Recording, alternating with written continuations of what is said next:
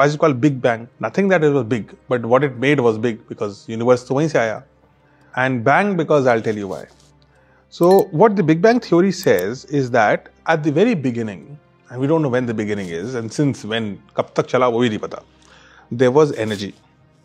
Now, and this fellow energy can translate into mass is equal to mc square. So energy बनता था mass, matter, antimatter.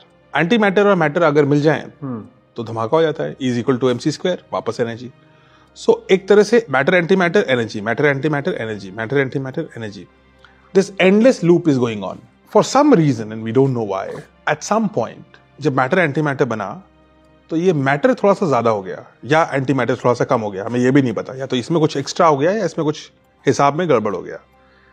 One mistake of the universe right that's I am the universe का पहला mistake Yes. है ये। Now when this annihilation happened कुछ mass रह गया। छोटा सा ये जो मैटर है, ये रह गया। ये जो छोटा सा मैटर है this is excess now the clock begins this is where time and space starts getting created. This is the beginning of the universe.